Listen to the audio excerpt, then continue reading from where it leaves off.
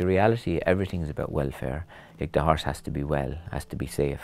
We do all, anything that we can do, we, we look for information all the time. A heart rate will tell you, it's like human beings, the recovery and their scope and will they stay or will they not stay and are they well or are they not well? And I suppose the uh, we do bloods see how well they are and uh, we GPSs to see what times they're doing.